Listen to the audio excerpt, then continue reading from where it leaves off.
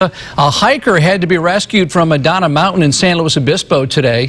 Fire officials tell us this is the perfect time to remind people if you plan to hike anywhere on the central or south coast this time of year, you have to go prepared. News Channel 3's Juanita Adame reports. Jordan Hayner says he sees them quite often. Mainly when they're coming down that you can tell that they maybe don't hike all the time. People who think that hiking up Madonna Mountain is not that hard. But he says, don't be fooled. Yeah, definitely prepare for heat. I mean, we're hitting the, the hot season. The hike is a lot harder than it looks. As an experienced hiker, Hayner says it's always good to come prepared.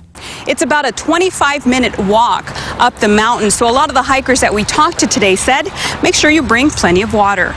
It was just before 2 o'clock this afternoon that emergency crews were dispatched to the area after calls of an injured and dehydrated hiker came through. We always recommend that a few things uh, they take with them. That would include some form of communication like a cell phone. Battalion Chief Bob Bisson says these types of calls are not uncommon. Um, they should be also aware of where they're going, uh, where their intended uh, start and finish points are.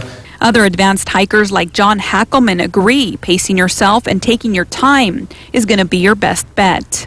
But if you're trying to push it really hard, it becomes more advanced. Like if you're trying to jog a mile, that's pretty easy, but now you try to sprint that mile, now it's advanced. In San Luis Obispo, Juanita Adame News, Channel 3. And now a touching story to pass along on this 4th of July. It's about a San Luis Obispo man who went out of his way to